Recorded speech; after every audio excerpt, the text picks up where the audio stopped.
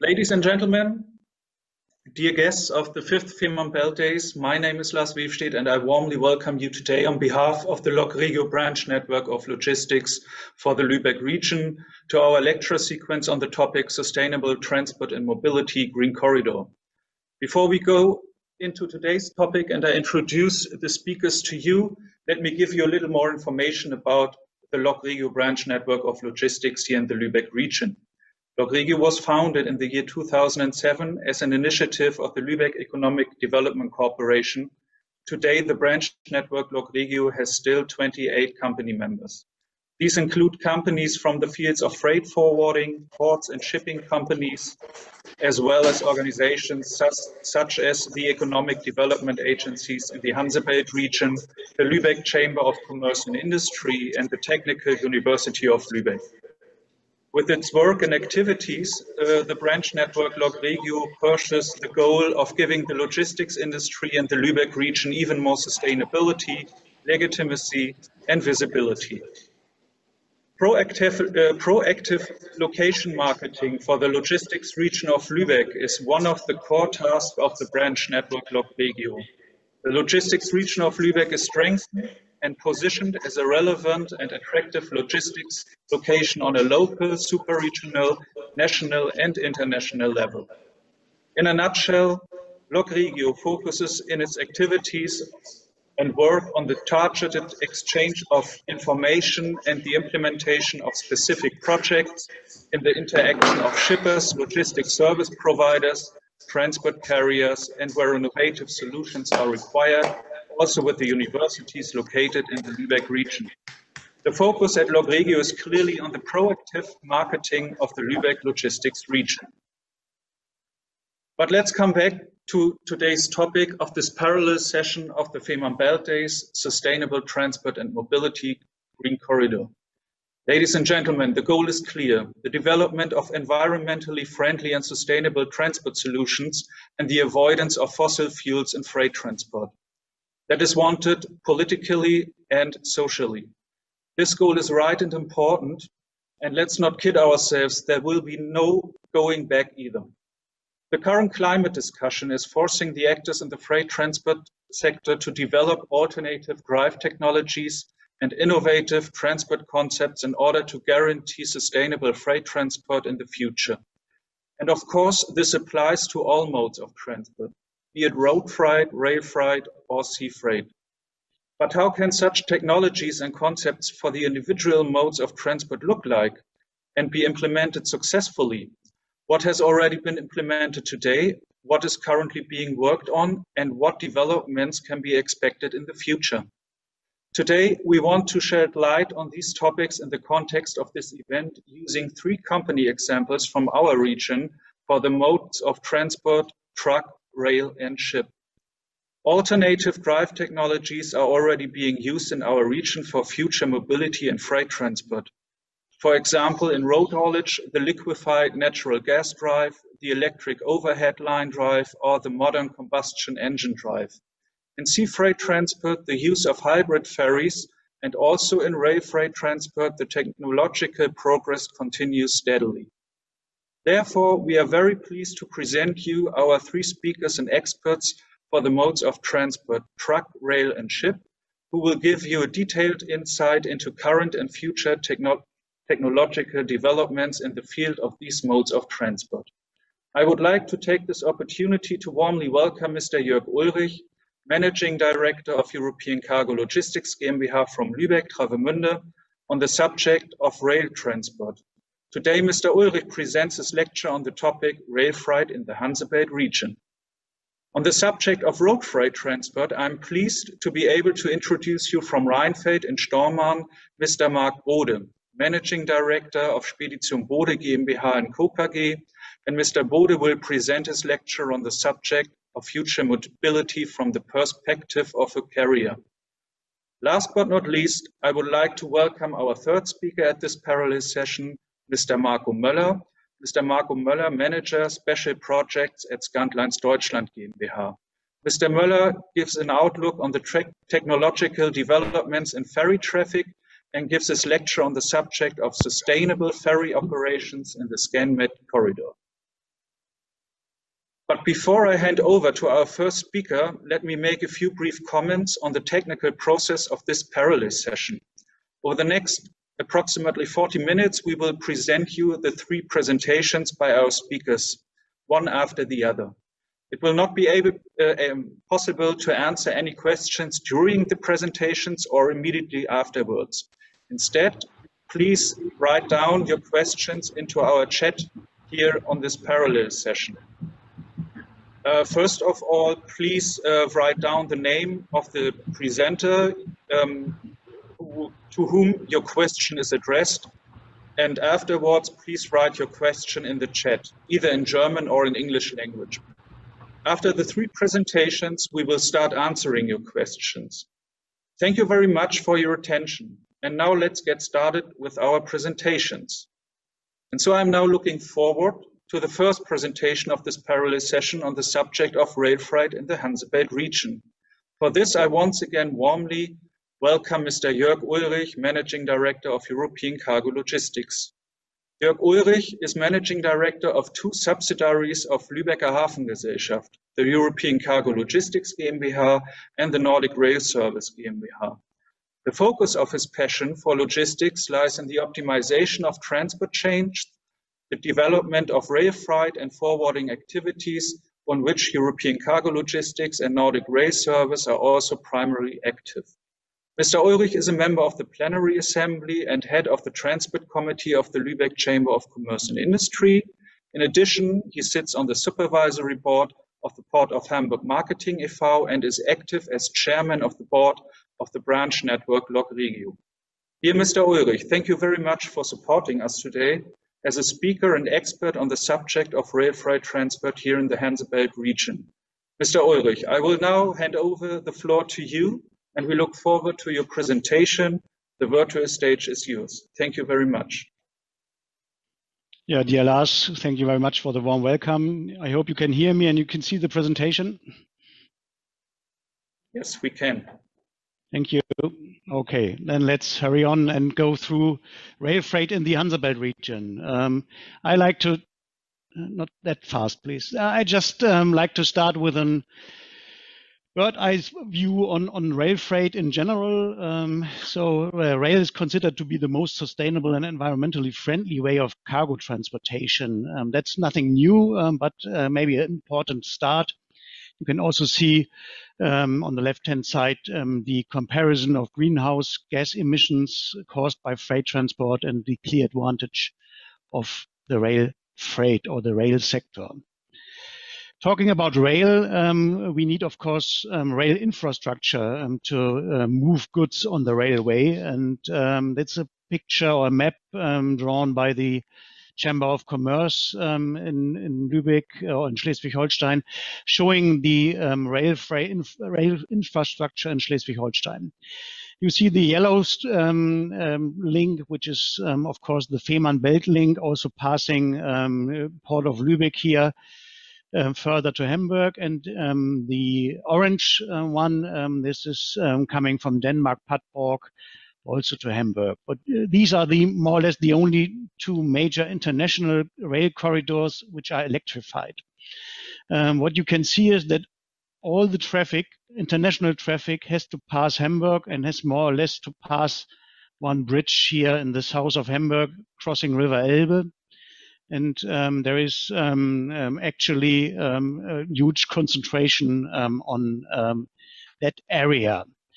Talking about rail infrastructure, growing railway traffic, and of course, impact of the Fehmarnbelt link, the fixed Fehmarnbelt link, it is um, necessary to improve and to enlarge um, the um, rail network. And there are two options. one is, of course, or let's say there is, of course, one um, um, improvement of the existing uh, link here between Lübeck and Hamburg. And there is a bypass uh, which is uh, currently electrified from Lübeck uh, via Schwerin, um, going more easterly um, down to this house in, in, Germany.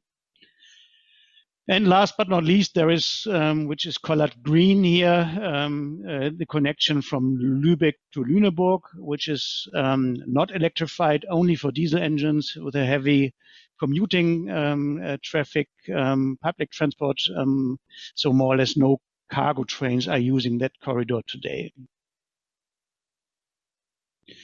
Um, another slide showing general figures about railway. Um, the you see most of the traffic is still on the road and uh, uh, on the red side here 18 some figures say 19 percent um, on the cargo traffic uh, of the cargo traffic in 2019 have been transported by rail.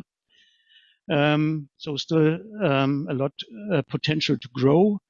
Um, if we look um, into what, what is important to state, uh, if we talk about railway traffic in Germany, um, to state that um, if we talk about cargo traffic, more than 50%, uh, even more than 55%, um, is carried out by private railway undertakings, and only 44% of the cargo traffic has been transported um, by Deutsche Bahn Group in 2019. So railway, and in particular um, transporting cargo on rail, is not only a DB cargo business, but is um, uh, in a liberalized, liberal, liberal market um, business um, for a lot of private railway undertakings.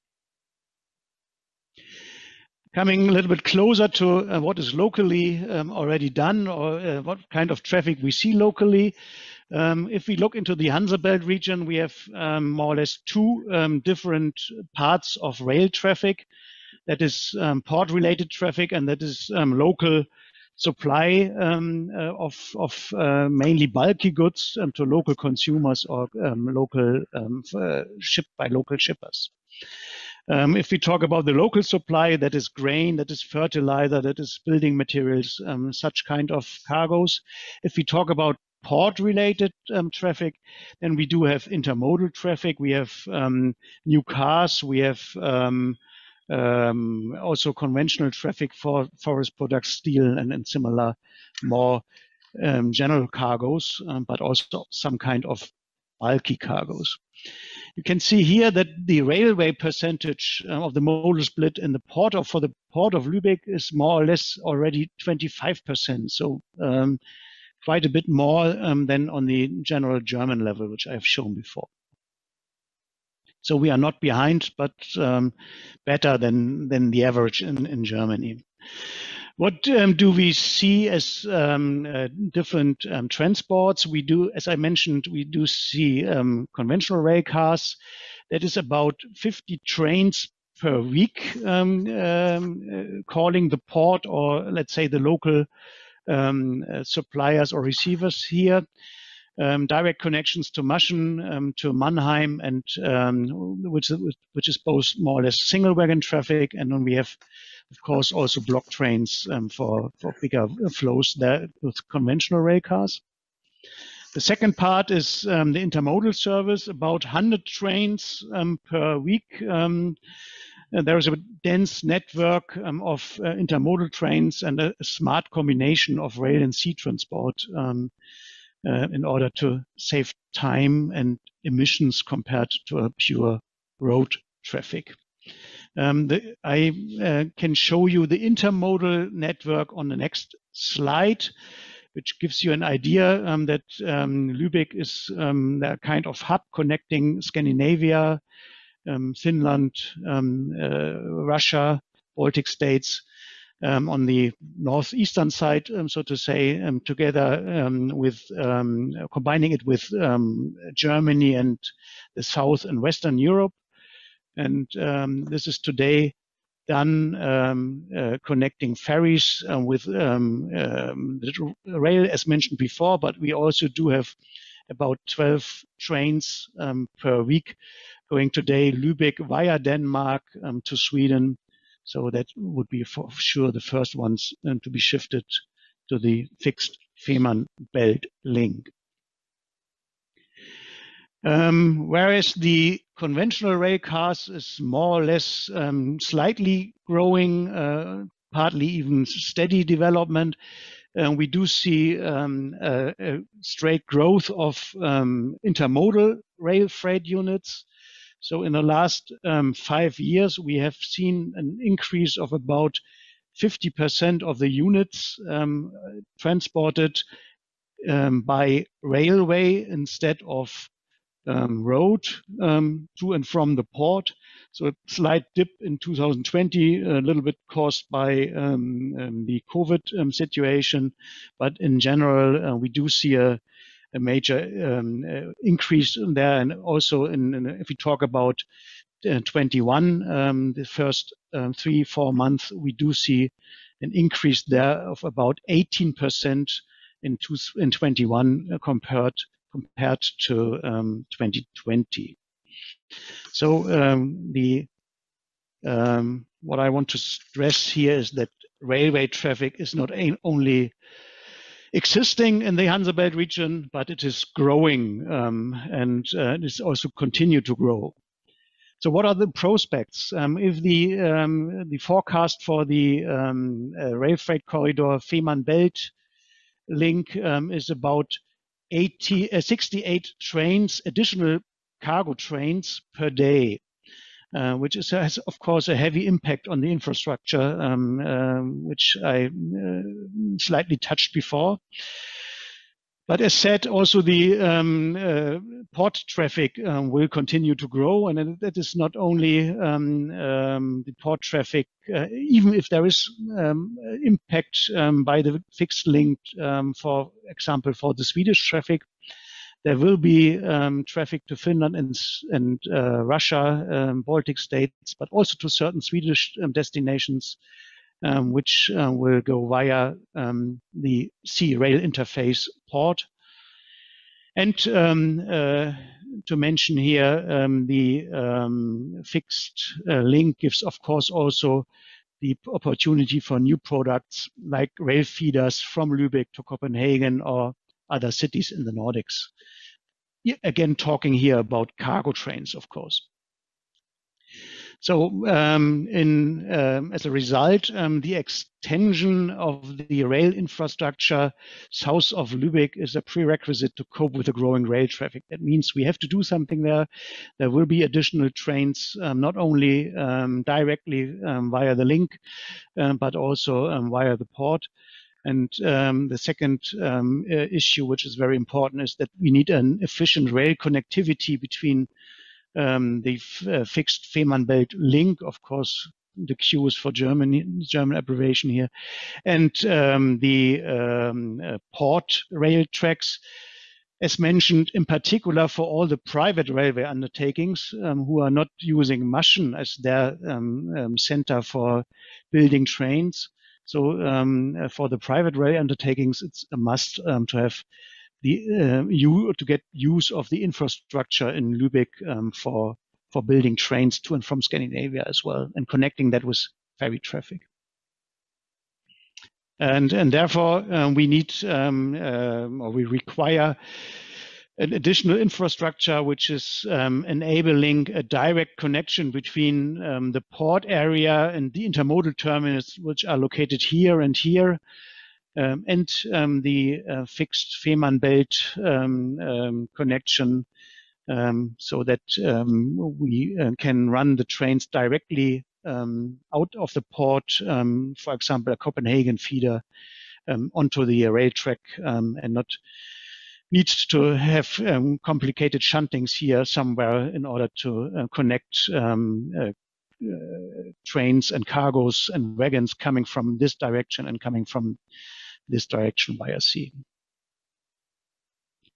Yeah, coming uh, to my last slide here, um, the conclusion. Um, already today, um, plays a very important role, role in the Hansebelt region. Um, uh, we are today already on the level which is predicted for um, uh, in the number of trains, which is predicted for the start of the opening of the um, uh, uh fixed link. So there's more than um, eight years to go. And just if we continue the growth of the intermodal traffic um, there, then it means um, in the next eight years about um, 10 to 15 uh, cargo trains more per day um, on the rail track um, during the phase of construction works and extension works of the existing rail track. And uh, but of course um, we um, have to extend um, the rail infrastructure in uh, Schleswig-Holstein and of course uh, in Hamburg for both passenger and freight um, in order to cope uh, with the growth. And uh, my last sentence here is the bottleneck for Schleswig-Holstein is Hamburg, is the crossing of the River Elbe. So that is the, the biggest need. And uh, if we look into the today's plans, I can't see any um, plan of um, the um, DB Netz, uh, DB Net rail infrastructure for improving um, the um, situation in Hamburg, in particular for the rail crossings um, of the River Elbe. Okay, so far so good. A ride on rail through the Hansebelt region, and I stop the presentation sharing here and hand over to Lars um, for the next presentation. Thank you very much. Yes, dear Mr. Ulrich, thank you very much for your interesting presentation on the subject of rail freight transport in the Hansebelt region.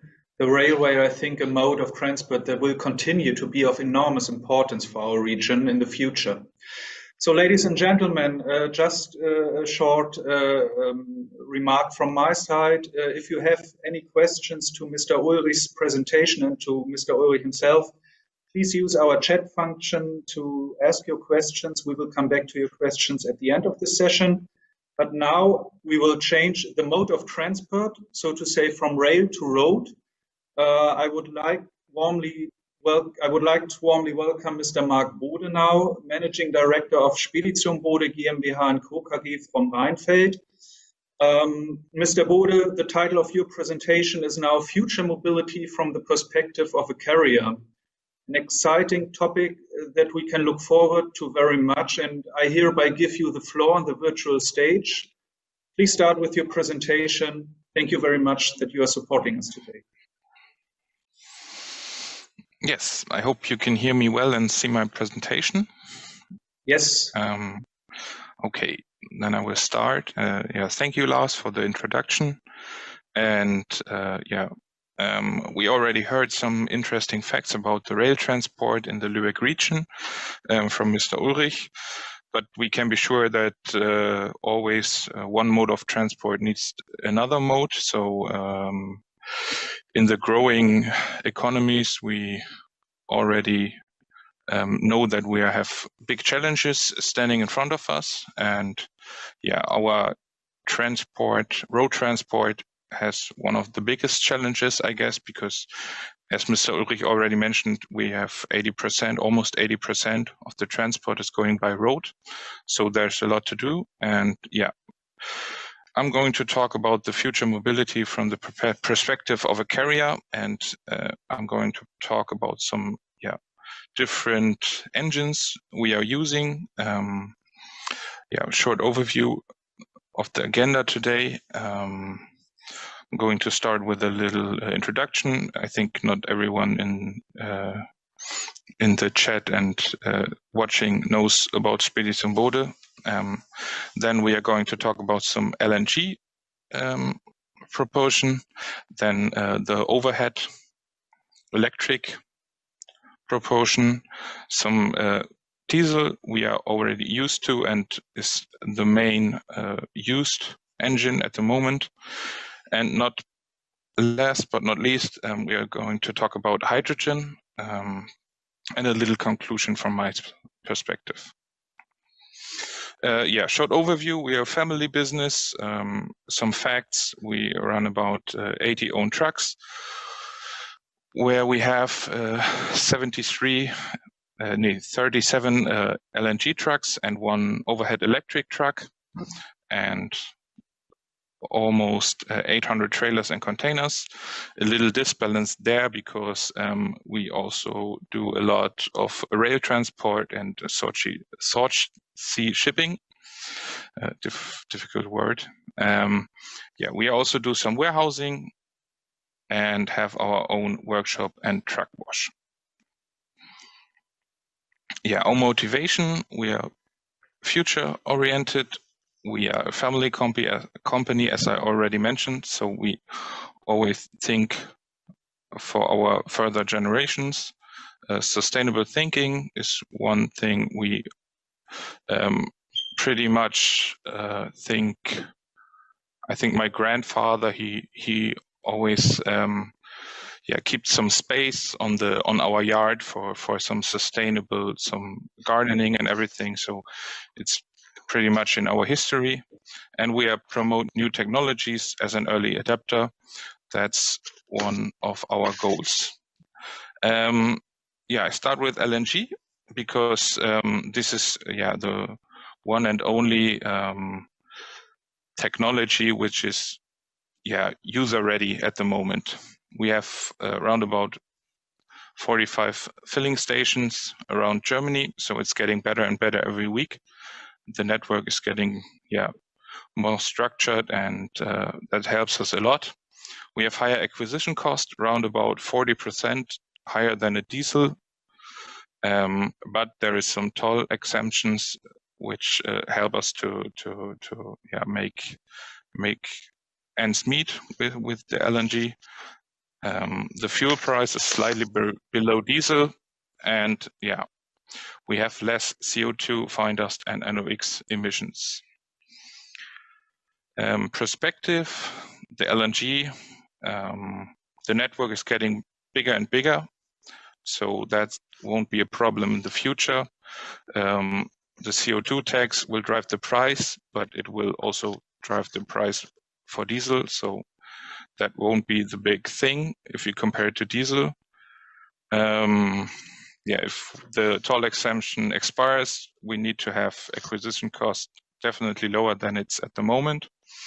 And the future perspective, which makes it very interesting for me, is liquefied biogas in the future. If yeah, you don't use fossil energy for the LNG, then it's yeah getting more and more environmental friendly, and that's uh, a good looking perspective to my side. Um, electric overhead line, uh, yeah, that's our pilot project here in between Reinfeld and Lübeck. Uh, I put a map in here so you can see where the so-called e-highway is. Um, yeah, from our yard, it goes on the Autobahn A1, and then we have five kilometers which are electrified. Um, yeah, most of our traffic um, goes to the Lübeck Harbor, Scandinavian Kai and uh, Seelandkai. So we use this uh, track a lot, and therefore, yeah, we are running it. We have at the moment one truck in operation, um, four more are coming, so we have then five in total to to test this. Sometimes we have issues with the with the track, but that's I think normal because it's a pilot project. So um, yeah, and we have two more uh, tracks in Germany. One is always running in uh, Hessen. It goes to the airport of uh, Frankfurt, and one is still in con construction. It's in uh, Baden-Württemberg. Yeah, there you can see how it looks like. Um, our electric overhead, it's a diesel hybrid truck. Yes, and um, yeah, we take the the electric from the from the overhead line and charge the battery also inside the truck yeah, perspective, if this technology should be one of the our future mobility, we need to expand the, the network a lot. Um, that's huge cost of infrastructure. Um, but I think if you electrify the the truck industry, it's always a, massive investment in infrastructure. Even if you electrify the parking slots or everything, that's always causes infrastructure costs, which are huge. Yeah, I'm keep on going. Yeah, we are now a combustion diesel engine. Um, that's our main business at the moment. Lowest acquisition costs, infrastructure is developed with all the gas stations. Um, we have a toll price per kilometer. Um, yeah, and the diesel price, yeah, sometimes it goes up, it goes down, but I think in the future with the CO2 um, price, it, it has to go up. So um, it's more and more expensive to to run a diesel in the future. But it's very high efficient because yeah, the the motors have 80 years of history, so it's been a, developed a lot. So the efficiency is quite good. Um, perspective, yeah, diesel price is going to rise, but uh, yeah, when you see the short term, there will be, I think, no no uh, replacement for the for the diesel truck in the short term. But in the long term, we have to do and find solutions. Um, but I think the diesel will just take part in in very special cases of truck of transport. So mainly, I think it's going to disappear in the future, long term. Last but not least, hydrogen. Um, that's the only technology we are not running in our company, but that's just the case because um, it's not market ready at the moment. Um, we try to to do something with like a pilot project with the overhead line with hydrogen, but it's not ready yet. Um, yeah, the problem is uh, always no infra, almost no infrastructure. We have a little infrastructure in Germany for uh, cars, filling stations by hydrogen, but not for trucks. So that needs to build up from the ground. Um, low efficiency, but it's totally environmental friendly. So that's a positive thing. Um, the technology exists in Germany. In Germany, I think Mercedes is almost over 20 years, but uh, it has been and hasn't been developed a lot. So there's some research and development to do in the future. And yeah, a hydrogen hydrogen network needs to build up, but I think that's quite easy for us because we already know since the last years how we build up a station network. Um, it's compared to electrified network, somehow it looks like overhead or uh, parking stations, loading stations. Um, this hydrogen network would be easier to build up in comparison. Yeah, little conclusion from my side. Um, at the moment, LNG is the only thing which is reliable and uh, market ready at the moment. Um, but there needs to be something with the acquisition cost. These are too high for the future if the the toll exemption will expire. Um, yeah, more and more alternative propulsions will be available in the future. Yeah, hydrogen will come, full electric will come, but this also needs all needs infrastructure.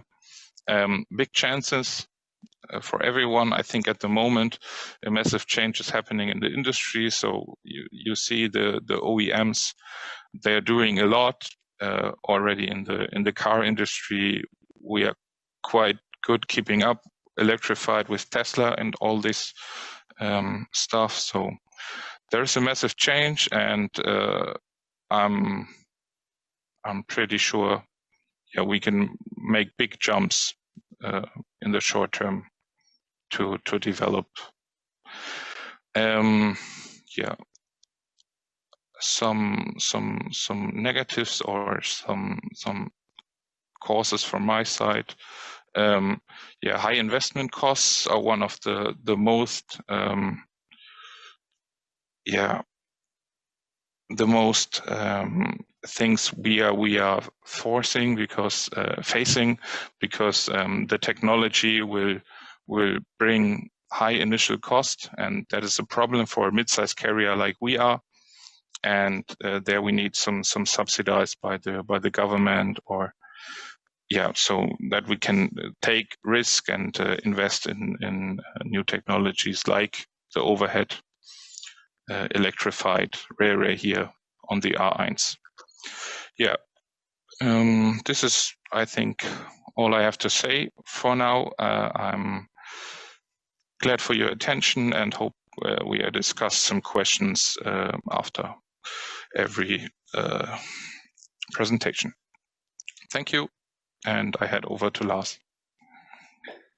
Yes, thank you, Mark. Uh, thank you very much for your presentation and the comparison um, of the different driving technologies in road freight transport, um, technologies that are already in use in our region today. Um, yes, and thanks again to you. Ladies and gentlemen, regarding the time, uh, a short reminder from my side about uh, the possibility to ask your questions in our chat. Please feel free to do so. Uh, and now uh, we come over to our third speaker of today. Now it goes on the water side. For this, I warmly welcome Mr. Marco Möller, Manager Special Projects at Scandlines Deutschland GmbH. Um, now Mr. Möller will present to us the current developments in the ferry traffic under the title Sustainable Ferry Operations in the ScanMed Corridor. Mr. Möller studied business administration at the University of Rostock and started his working life as a research assistant at the Department of Transport and Logistics at University of Rostock in the year 2007. And since 2011, he is employed at Scandlines Deutschland. He is part of the route management and terminal operations team, and he has almost 10 years of experience with various projects within Scandlines, including a special focus on application and project management for several EU co-financed activities around Scandlines' green agenda. Mr. Möller, a very warm welcome. I will now hand over to you and we look forward to your presentation. The stage is yours now. Thank you for uh, thank you very much for being here today. Thank you, Lars, for the very kind introduction. Could you just shortly say that you can see my first slide and then you can hear me? Uh, I can hear you, but we cannot see your presentation.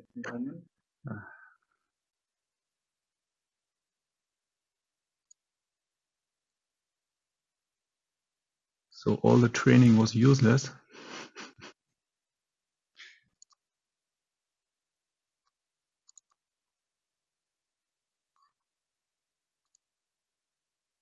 Yeah, something happened. Uh -huh. Yes.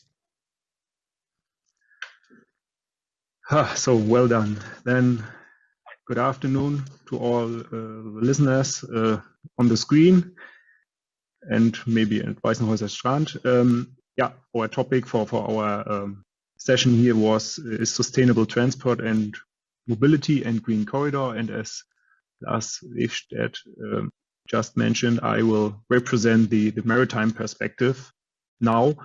And uh, yeah, just as ferry traffic is, so to say, the very characteristic way of transportation in the uh, ScanMed corridor, uh, yeah, I will just try to to yeah to bring you or to, to present you some of the experiences with sustainable uh, ferry operations in, in the corridor.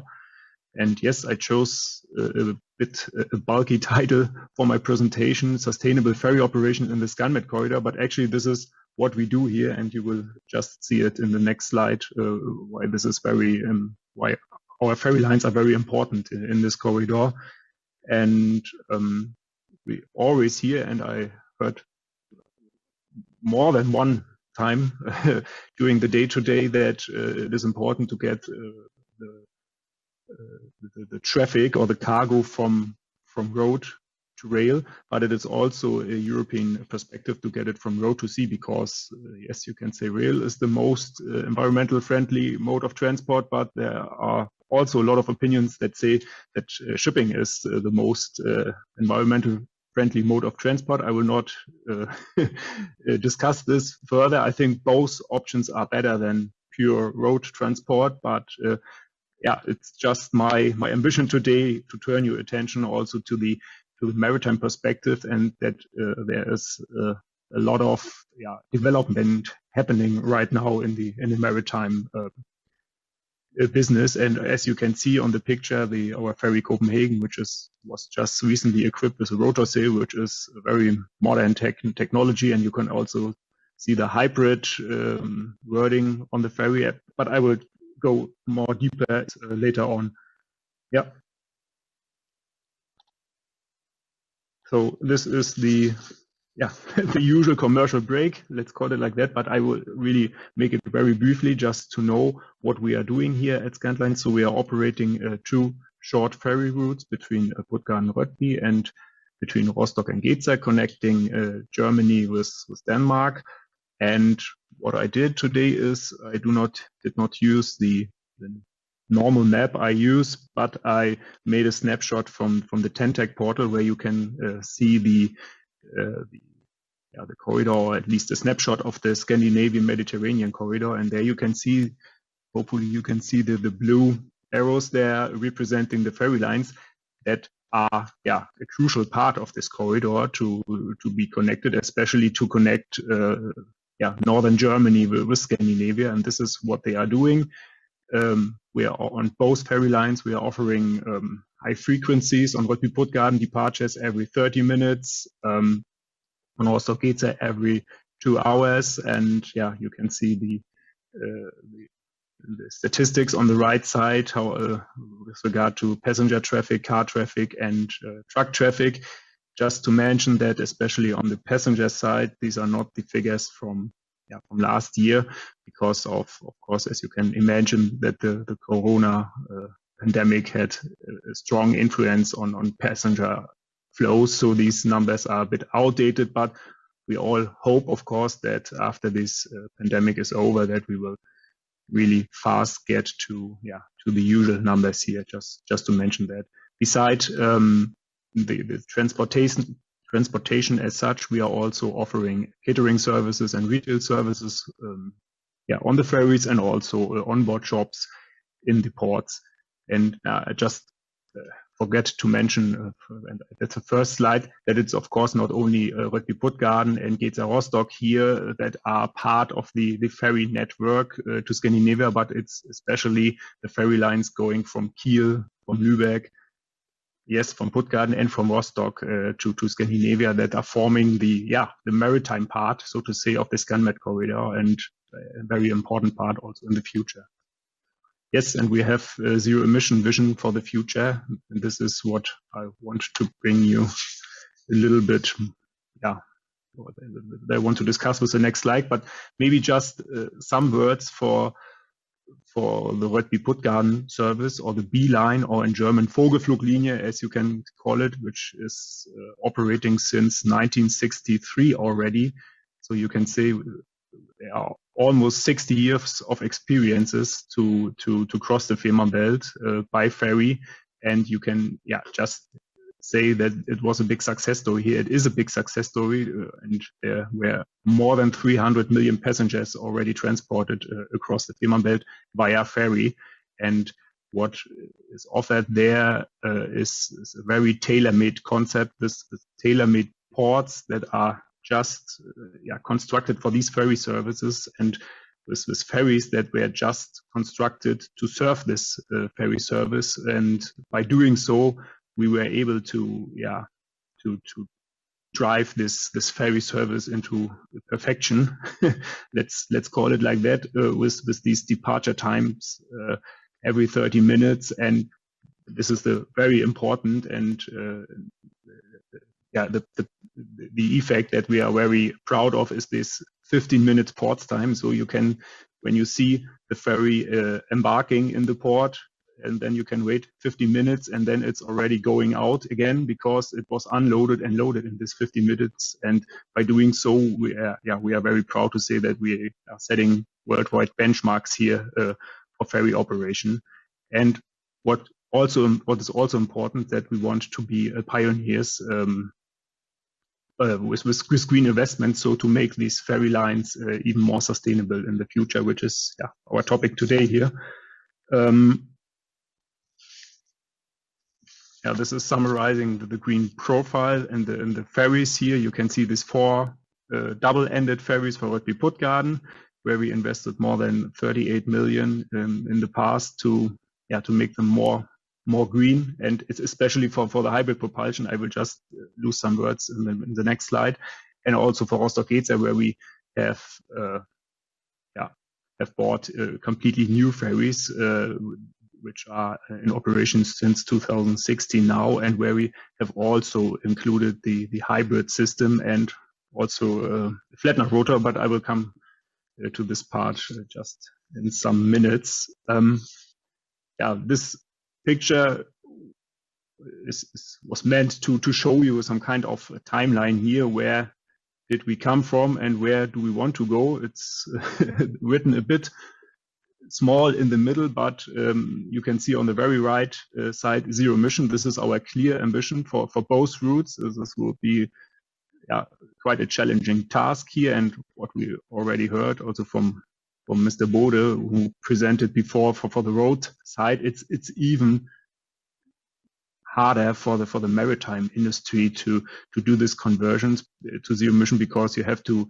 to keep in mind that that a vessel is not bought for five years or 10 years. It's bought for 30 40 maybe 50 years. So the the, the cycle time is, much higher here. And this also have to uh, have to be in mind this when talking about uh, making ferry or not ferry shipping but maritime shipping uh, really zero emission. This will take some time, but we have uh, already started to do so, and we started back in 2011 with with yeah, creating this zero emission, and then immediately starting with converting all our ferries to to hybrid, which means that we uh, yeah that we uh, cut out one one diesel engine, so to say, and substituted uh, with batteries just to to increase the efficiency uh, of the ferries and to yeah, just to to get the the bunker consumption uh, down.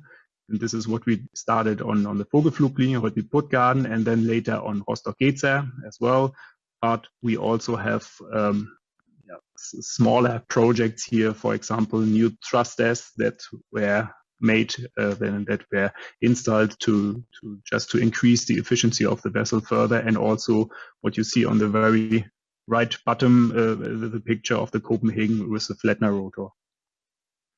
Maybe just to mention that we, in end of April, published uh, our first sustainability report, which is meant to, yeah, just to give our our green strategy more profile and to make it more measurable in the future. And there you can see a lot of uh, zeros and zeros. So this does just want, want to say that it is not only zero emission in the future, but uh, to get more sustainable, there are a lot of aspects that you have to consider. And uh, we heard about some of them in the morning already when it comes to, yeah, to um, employees and health and safety and um, food, uh, food waste and so on. So this is uh, something which is very important. It's not only the zero emission, but it's, yeah, is so to say zero emission business as such. Let's, let's put it like that maybe just to, to mention this slide here that you can see that although we had a very tough 2020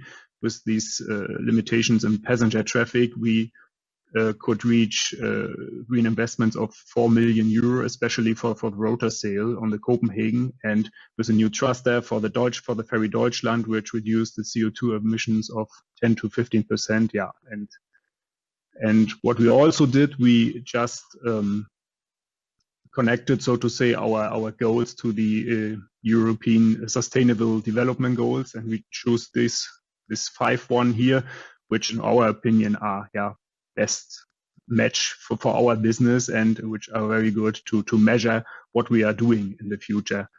And yeah, this is this slide that it's looking very, very easy so we are coming from, from hybrid ferries and we are doing um, some energy consumption reduction and then we are zero emission ferries. Of course, this is not so easy as it looks like here, but I just wanted to, yeah, to, to make it very brief and very maybe easy to understand. And the, the middle one, this is our focus right now. So we just want to get as efficient with, with the ferry operation as we can get. And the latest examples I already mentioned it, where new trust thrusters and the rotor sail. I will just mention um, so some. I will just have some additional remarks on that. But you you have to you can just say that we have a lot of bigger and smaller uh, projects running in the in the background just to get um, yeah the efficiency down. And zero emission ferries in our um, business, especially for Rødby Puttgarden, will be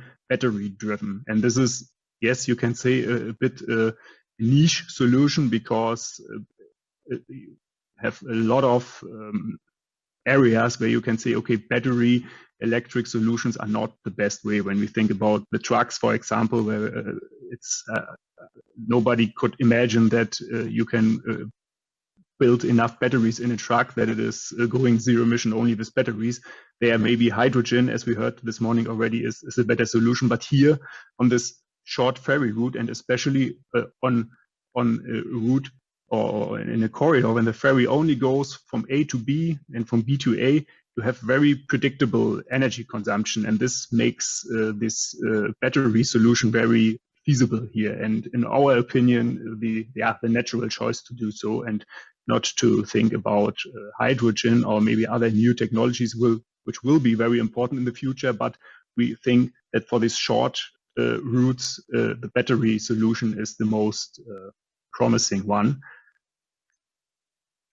And I will not go into details uh, how this could could look like. We have seen uh, some examples of zero emission ferries with, batteries already, especially in Norway with, yes, smaller ferries and shorter routes, but there you can already see uh, that this is working. For example, our, our partner route uh, from Helsingborg to Helsingør, which also operates with shorter, shorter ves uh, vessels and um, uh, on, on a shorter route is uh, partly uh, converted to the emission already. But yes, there, there will be um, some some, some challenges to be solved in the future. And now I would just go to my, my last example here, which is the rotor sail installation. That is our, so to say, our newest green investments.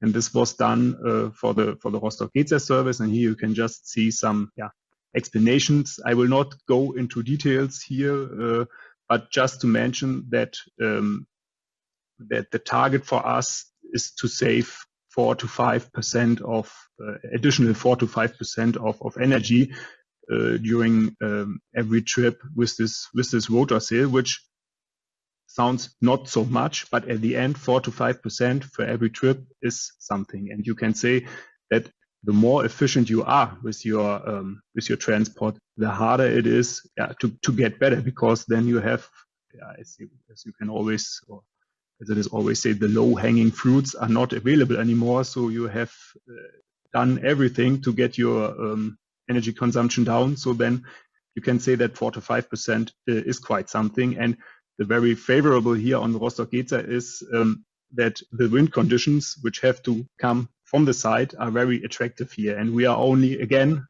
we are only going from A to B and from B to A. So the the area we are operating is uh, very uh, easy to predict, so to say. And just to see that it's not only a graphic, but it's reality already. Here you can see the rotor sail on the uh, Copenhagen. It was installed last year in May, and we have nearly finished the, the testing right now. We also did some some speed performance tests uh, end of March this year, which were yeah, very promising and at the end uh, confirmed our expectations with regard to the uh, bunker consumption reduction. And maybe it's also important to mention that we are part of an Interreg project here. So just to say that uh, international cooperation is reality already now. So we are there working with, with uh, a lot of universities and with, with other uh, ship owners to test and uh, to validate these kind of installations and just to contribute uh, yeah, to the to the uh, EU goals there. Yes, and with these words, I have already got to my last slide. Yeah, thank you for your attention, and I would like to go get back to Mr. Wevstedt. Lars, there? Yes, thank you very much. Mr. Muller, thank you very much for your presentation and the insight into current and future developments in the field of sustainable ferry traffic in the ScanMed corridor. Ladies and gentlemen, uh, regarding the ongoing time, um, I got the information that there are still no questions um, from your side in our chat so far.